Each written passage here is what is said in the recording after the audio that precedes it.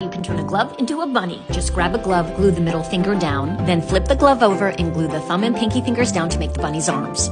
Draw some eyes and glue on a pom-pom nose. Stick a straw into a cup, then slip the glove on top. Blow into the cup to reveal the bunny over and over again.